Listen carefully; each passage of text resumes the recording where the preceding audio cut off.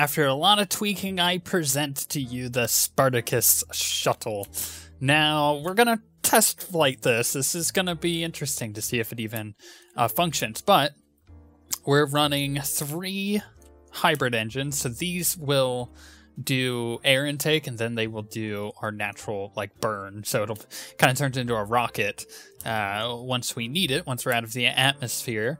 Then we have these four in air takes on either side to make sure that we have plenty of air and you know control such sections and all that but uh, we have the fuel here so there's a fuel tank there and a, a, three fuel tanks there it's one long one is what it really is and right here we have a crew tank, right? Because if you have a spaceship, like a massive, giant, interstellar spaceship like you see in sci-fi stuff, you need to build it first. And you can't just build that on the ground because that doesn't it's it's too much, right? It's too much to get into space most of the time. It's meant as like a carrier. So you build it and then you go to different planets with it. But the problem is you need to build it in space.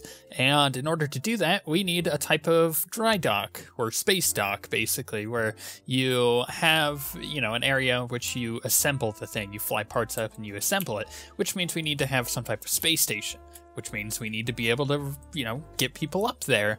Uh, and this is a good way to do it. So we have a crew tank, right? So we can hold people in it. Plus, we have our flight crew. Uh, we have some RCS because we're going to be in space, and that's really helpful for maneuvering. As you see, we don't currently have a docking port because we don't need it at the moment. We will end up using it.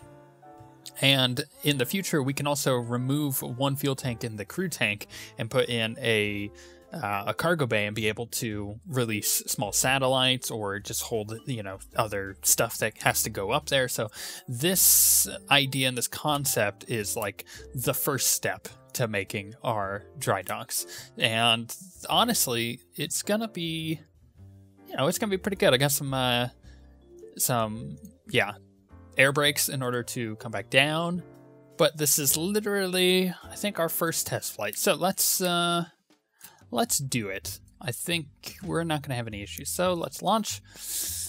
Things to look out for uh, instability, too being too slow because you still need to get out of the atmosphere, and you need to have enough fuel in order to potentially uh, maneuver when you get back and maneuver in space because you know it's not just getting out of the atmosphere that is going to be the goal here. You gotta you gotta be able to maneuver a bit.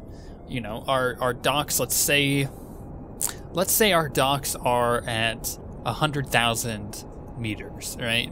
If if that's the case, we need to be able to get there and back, which actually takes quite a bit of, of fuel. So we got to keep that in mind. Also, just general function, like what feels good about the aircraft and what doesn't feel good about it, and then we'll we'll kind of go from there because you know it's if if you're ooh almost smashed the the uh, the tanks on the back onto the ground. But if if something you feel like isn't necessarily working, then you want to make sure that you fix it. Oh, by the way, I have the little uh, generator things there, so I don't necessarily need some solar panels on this thing. I could just use those and they fit nicely between my air intakes. In fact, they look quite cool. In front of the back, they're kind of like like air strakes, right? So they're just it looks more aerodynamic uh, this way than having a ton of solar panels. Which the problem with solar panels is if if you have them on the the top and the bottom, which you really need to do if you have some type of shuttle. That way, you're getting illumination whichever which way, and you don't necessarily have to be pointing any specific direction in order to make sure you're getting power, uh, especially in this game when you could speed up time and suddenly lose all your power and then you're you're screwed for a while. So having these makes it a lot easier. Plus, on re-entry, you just, especially with the solar panels on the bottom, you're feeling like you're gonna just rip them off and the strain of you know all of the the pressure that goes onto the bottom of the the spacecraft. So you want to make sure that that doesn't happen either. Let's get a bit higher and let's see how this thing is faring. I have a pretty steep angle here uh, which is kind of good bad, right? So it's good in the fact that I need to really get into this section of the atmosphere. It's a lot thinner. I'll pick up a lot more speed and I'll have a lot less drag, which means I'll be more fuel efficient, right? So we want to get up there as soon as possible, but I'm not gaining a lot of speed, as you can see. It's going up, and I could make it go up a bit more if I just even tilt this down a little bit more, but I need it to, you know, as long as it's gaining at a kind of rapid rate, you know, it's mild, uh, then once we hit that part of the atmosphere, we can push the nose down a bit and then start going more horizontally, which will increase speed. We, you know, just like in uh, rocket, we need to hit the 2,200 meter mark on uh, per second for, you know, establishing an orbit at least typically that's that's what you kind of want to shoot for and as long as i have about 75,000 uh, for elevation, then should be good. Because once I hit that, then I can just, you know, get the rest of my orbit done, uh, as you'll see. But so far, pretty stable. It had a wobble to begin with, but now that we've, you know, got everything stabilized, we're going quite well. Uh, one thing I may want to do, just because I can, is to turn on the cockpit lights. And heck, I, I know that I don't have anybody in here at the moment, but I'm going to turn the cabin lights on too. May as well test everything, make sure all of our lights work. Ooh, oh, oh, no, no, uh, no, eek, okay. It's a bit unstable at uh, 11,000, so as soon as we're about to hit the slower, or the, the lower amounts of uh, atmosphere, okay. Well, we can fix that. The worst part was is you could start seeing it happen, and I couldn't do anything to fix it. So I'm gonna have to be aware when that happened, and maybe maybe point my nose down a bit. That'll help stabilize it when we're making that transition into the lower atmosphere, fear rather. Uh, yeah, hopefully that will do it. Let's try this again. So I'm gonna try this angle now. Still that wobble. I get that wobble on launch. Not quite sure what it is exactly. Look, I'm pointing straight at the moon. It's like a Monero. Uh, yeah, I'm not sure what that wobble is exactly. It's probably just the SAS trying to account for some weird instability or stalling going on on one of the wings. And I probably should point out the wing design is very intentional. I've made a large surface because if I have a lot of surface area coming down on the atmosphere when I'm re-entering, it should slow us down a bit more. That's a theory. I don't know how functional that will be. Typically, uh, you want the wings to almost bend like upwards, just slightly, like this, uh, on these kind of space shuttles, because on re-entry you want the heat to dissipate a lot better off of the wings, and you know these wings don't have shielding on them, but that's just because of the uh, I guess the limitations with B9. But if I could, I would put shielding on the bottom and make it look all cool and spaceshipy. But with that, uh, you know, you, you want the, the heat to dissipate as quickly as possible on a real spaceship. With this, not so much. Don't really care too much. Things can heat up and explode and stuff, but I think uh, our design will be just fine. Keeping a close eye on our stability here. It could be the speed too. Maybe we were just picking up enough speed to start making the aircraft instabil, inst- unstable. That was a hard word to get out, but it you know sometimes the speed will do that once you hit starting you know like like 200 meters per second, let's say. Uh, within atmosphere, it starts changing the way the aerodynamics will work on the wings, which makes everything kind of go crazy, kind of like we saw.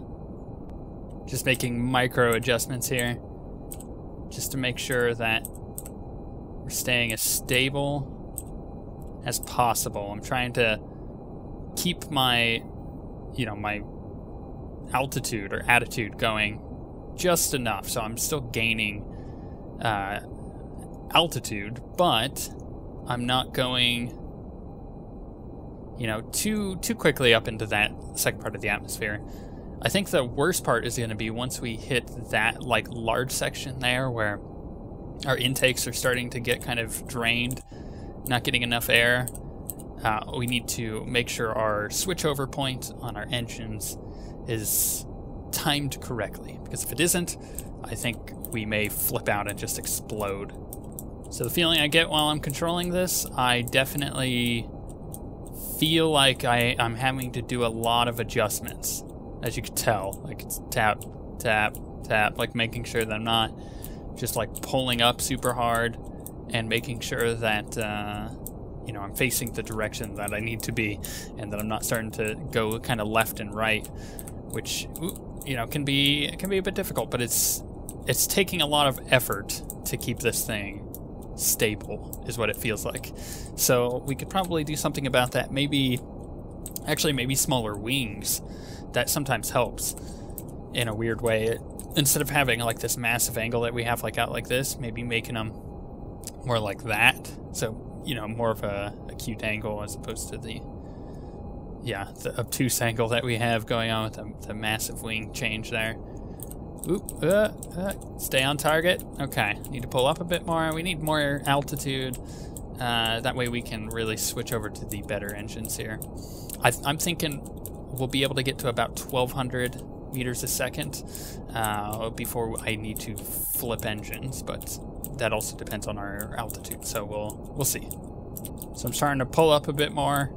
It's allowing me to get a bit more altitude and uh, hopefully get to that point where I can switch over engines. Once I switch these engines, it'll provide a lot more thrust, which actually in turn provides a lot more control. Uh, strange concept, but picking up a lot of speed now. And our air intakes are starting to get kind of low. At about 0.3, we really want to consider switching over. Um, maybe even before that, maybe like 0.4. Uh, if we can get to 1200 meters a second, I think that would be ideal to switch over. Let's try that, so that way we have a benchmark. Let's try 1200. I'm keeping an eye between this and my my speed, so I'm looking at my air intake, I'm looking at my speed, I'm looking at my altitude. That's the other real key thing here is making sure that stays kind of going up as much as I can. Uh, about 1100. That should be good. Let's do 1100 and boom suddenly a lot more thrust. Now we have a lot of fuel on this thing, so we should be fine. But I am playing it a bit safe here. We'll do, I think a good benchmark would might, yeah, about a hundred thousand uh, on altitude here. Because if, if we're at 30 now on our apoapsis, but that will go up rapidly the second we start getting into this zone of our atmosphere. And once we start uh, pulling up a bit more, which we will do here in a second. I'm really keeping an eye on our control. Looks a lot better. Our speed is going up real quick. We're not pulling up super hard. There's a slight amount of pull up there as it tries to escape the atmosphere and it's it's creating a lot of lift. But instead it's lifting the nose of the aircraft up, so I'm going to bring it down just a bit. And keeping an eye on our apoapsis. Everything's going quite good. We're we're on a trajectory that will allow us to escape here. Now, with our station that we make, we want to make sure that it is just about perfect when it comes to the altitude that it's at. So it would be about 100,000 on apoapsis and periapsis, like almost perfect. And I want to make sure that it is also as level with the equator of Kerbin as possible. It'll make it a lot easier to rendezvous with it uh, as we get closer to the you know to the point where we're needing to do that because honestly you don't want to what are we at uh we're slowing down a bit, but we are going to get to our apoapsis. Yeah, you really don't want to have any issues where you're having to launch and then you know make a lot of corrections and then orbit around a few times and then finally dock with the thing in order to rendezvous with your space station you want to be able just to launch and almost be there uh, as you get up into orbit which requires precise timing which we will definitely work on for sure okay so we are time accelerated, but we can bring that down. I do have RCS. I am in space now. We're officially out of the atmosphere. And I can officially go like this and speed up. to there, and let's establish an orbit. But I just want to keep an eye on it. Uh, it's about 100,000. I think we could do another 100,000. But once again, this is all test. We're burning through our fuel fairly quickly, but we don't need a whole lot for return, so I'm not excited. We actually barely need any for return. Uh, a little bit more. Boom. That's pretty good. Do we have lights? Let's test our lights out. We have lights. We're going to test out some EVA. Oh, this is looking good. Our first space shuttle, the Spartacus, is functional. It's totally working. We'll make some design changes for it. But overall, I'm quite happy with this. Cool. Now the matter of re-entry. I gotta figure out where exactly I want to land. Probably the Space Center, just to be safe, but uh, I do want to do some EVA first and really check it out from space, see how it's holding up.